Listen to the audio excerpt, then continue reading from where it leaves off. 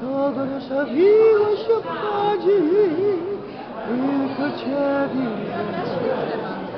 Кому наша милость дашка,